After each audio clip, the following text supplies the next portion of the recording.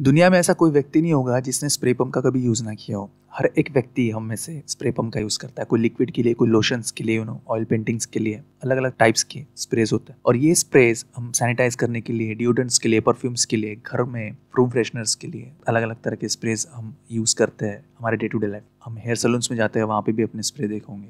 जब ये काम कर रहे होते तब हम बड़े खुश होते हैं। बट अचानक से ये काम करना बंद कर देते हैं। हम पंप करते रहते हैं, लेकिन बाहर लिक्विड आता नहीं है। स्प्रे आता नहीं है या फिर कोई लोशन भी नहीं आता, तब हम इरिटेट हो जाते हैं फ्रस्ट्रेट हो जाते हैं। और कुछ कुछ पंप्स तो आसानी से खुल जाते हैं ताकि हम देख सकें कि अंदर कोई कचरा फंसा है या फिर ऐसा कुछ प्रॉब्लम है नॉर्मली हम देखते हैं। बट कुछ स्प्रे मशीन से सील किए हुए होते हैं जो खुलते भी नहीं है। फिर हम क्या करते हैं? हम परेशान होकर उनको डस्टबिन में फेंक देते हैं। और उसके वजह से उसके अंदर जो भी लिक्विड बचा हुआ होता है वो एनवायरनमेंट को डैमेज करता है। कोई एनिमल होता है, कोई जानवर होता है, बेचारा वो उसको दांतों के नीचे दबा कर या फिर कुछ भी हो सकता है, वो इन्फ्लेमेबल होते हैं। कभी कभी कुछ तो हजारडस भी होते हैं पॉइजनस भी होते। नेचर को भी वो ख़राब करते और इसका असर हमारे पॉकेट पे भी होता है। बट क्या हम इन पम्प्स को ठीक कर सकते हैं? क्या इनका कोई सोल्यूशन है? तो बिल्कुल सोल्यूशन है। आज की वीडियो में हम वही देखने वाले हैं। और ये बड़ी इंपॉर्टेंट वीडियो है। हम इसका मैकेनिज्म भी देखेंगे। और इसको कैसे इजीली हम ठीक कर सकते हैं और यूज़ कर सकते हैं, वो भी आज की वीडियो में देखेंगे। ये वीडियो बड़ी इंपॉर्टेंट है। चलिए स्टार्ट करते हैं।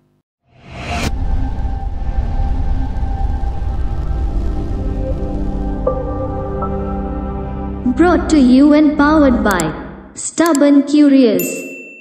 जैसे कि आप इस इमेज में देख पा रहे हो एक से लेके अठारह पॉइंट्स आपको दिख रहे हैं जो पॉइंट्स इस नोजल में यूज़ होने वाले पार्ट्स के बारे में बता रहे हैं। चाहे तो आप इसको पॉज करके अच्छे से देख सकते हो। इस इमेज को दिखाने का मेरा एक ही इंटेंशन है ताकि हम इसके बेसिक मैकेनिज्म को समझें। ये जितने भी नोजल्स होते हैं, ये इसी मैकेनिज्म के साथ काम करते हैं। और इस स्प्रे को आपने गार्डन में देखा होगा, या हेयर सलून में भी देखा होगा, अक्सर है वहाँ यूज़ होता है। हम इतने डिटेल में इसको नहीं देखने वाले हम डायरेक्ट इसके सोल्यूशन को ही देखने वाले हैं।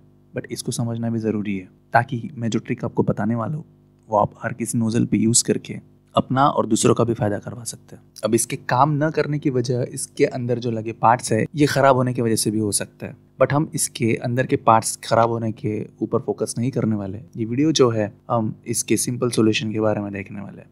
पार्ट्स खराब होते हैं तो हम उसको चेंज करके भी इसको ठीक कर सकते हैं। बट आज हम वो नहीं देखने वाले। हम देखने वाले हैं इसका एक सिंपल सोल्यूशन तो जितने भी वॉल्स है, आपको इमेज में दिख रहे हैं नंबर्स में। JP valve ball valve intake valve उस पर आप एक बार नज़र फिर लीजिए। इन वॉल्स का ही यूज़ करके हम इसका आज सोल्यूशन निकालने वाले हैं। तो चलिए देखते हैं इसका सोल्यूशन अब स्प्रे के नोजल्स कितने टाइप के होते हैं, वो हम यहाँ देख लेते हैं वन बाय वन अब हम जितने भी स्प्रेज यहाँ देखने वाले हैं, उनमें से maximum I mean ninety percent nozzles में स्प्रेज में ये ट्रिक काम करेगी और आपका काम हो जाएगा। तो एक के बाद एक देख लेते हैं। तो सबसे पहला जो स्प्रे टाइप होता है, ये है मिस्ट स्प्रे जिसको हम बोलते हैं, ये परफ्यूम्स में डीओज में यूज़ होता है, इस तरह के नोजल्स इसमें भी ये काम कर जाएगा ट्रिक दूसरा ये है स्प्रेयर पम्प्स जो मैं आपको दिखा रहा हूँ इमेज में भी। तो इसमें तो डेफिनेटली ये काम करता ही करता है। तीसरे टाइप के जो नोजल्स होते हैं, वो होते हैं क्रीम नोजल्स या आप इस तरह के लोशन वाले नोजल्स भी देख सकते हो। इसमें भी ये काम कर जाएगा। बट ये जो चौथे टाइप का है नज़ल स्प्रे जिसको हम बोलते हैं, इसमें मुझे डाउट है क्योंकि ये मैंने अभी तक ट्राई नहीं किया। लेकिन मुझे लगता है आप ट्राई करके देख सकते हो इसको। ये इसमें भी काम कर सकता है। अगर मैं फ्यूचर में कभी यूज़ करता हूँ ये नज़ल स्प्रे और इसमें अगर वर्क करता है, कुछ होता है तो मैं शेयर करूँगा आपके साथ। तो आगे चलते हैं। तो चलिए इस ट्रिक का हम प्रैक्टिकल एग्जीक्यूशन देख लेते हैं, जिसकी मदद से हम इसके डायरेक्ट वॉल्स पे जो हमने पहले देखे थे, उसके ऊपर इसका इम्पैक्ट पड़ेगा, इस मैकेनिकल ट्रिक का। तो इसको कैसे एग्जीक्यूट करना है, हम प्रैक्टिकली देखने वाले हैं अभी। क्या करेंगे? इसको इसको इस तरह से निकालेंगे, ठीक है? और इसको यहाँ से ऐसे पानी से भरेंगे। अगर इस तरह से ना हो तो इस तरह से पानी से भर देंगे। शुद्धियाँ नहीं चाहिए इसमें कुछ भी। और इस तरह से इसमें नली इस तरह से फंसा देंगे।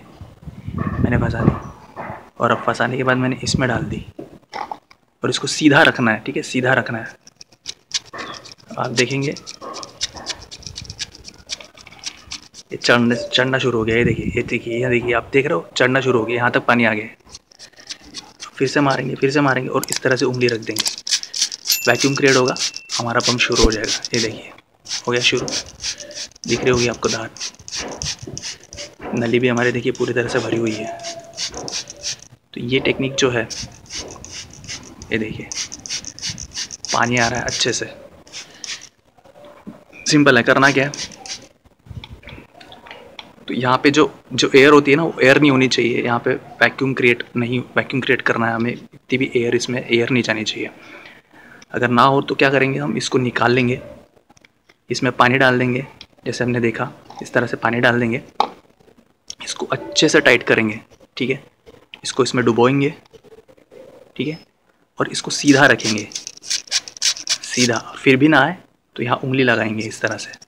और उंगली लगा के वो वैक्यूम क्रिएट हो जाएगा, पानी शुरू हो जाएगा आपका। ठीक है कुछ इस तरह से। अभी खींचना शुरू कर दिया इसने। अब यही सेम ट्रिक एंड टेक्निक हम इस मॉडर्न बॉटल में भी यूज़ कर सकते हैं। इसका जो नोज़ल है, कुछ मॉडर्न टाइप का है बट मैकेनिज़्म यही अप्लाई करेंगे हम। और इसी ट्रिक का इस्तेमाल करके, इस तरह से फिंगर टच करके हम इसको भी यूज़ में ला सकते हैं और इसके अंदर का लिक्विड को हम यूटिलाइज़ कर सकते हैं।